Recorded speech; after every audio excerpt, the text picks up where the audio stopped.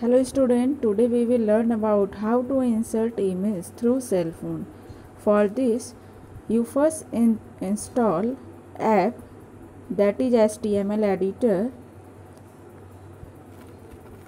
anWriter free HTML editor. Okay, this you have to install in your cell phone.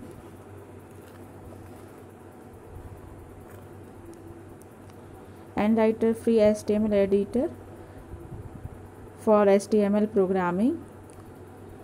And this is 2.4 MB application program that you have to install in your cell phone. Now how we have to I have already installed. How we have to insert image?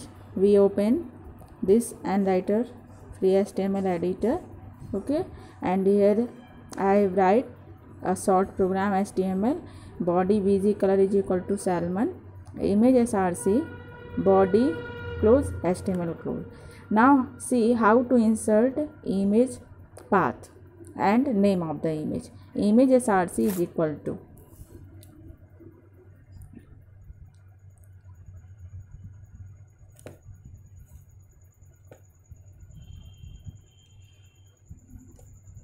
I delete this image path?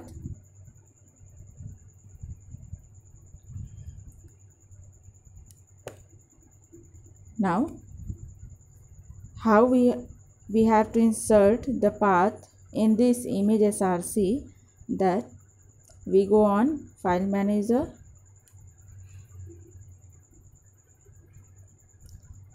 In file manager folder. And in folder option here is cim okay? Camera.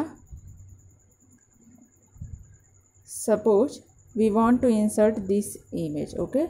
Here you see the image location insert storage then dcim then camera. That means through this location we come on this image page okay? Now internal storage dcim camera. And after this we want to insert this image. That is 1.jpg okay? So take this click on more and copy. Okay? Now minimize and come on anWriter and here we paste. Okay so student you see storage emulated 0 dcim camera. This is your path of the image. And student you see the name of the image is 1.jpg but here is another image name. So we delete this. And write 1.jpg 1.jpg okay now save this okay? And when we preview from here we see that busy color salmon and insert image okay? And here i'm i have give height 20 percent and width 70 percent. So according to that you insert image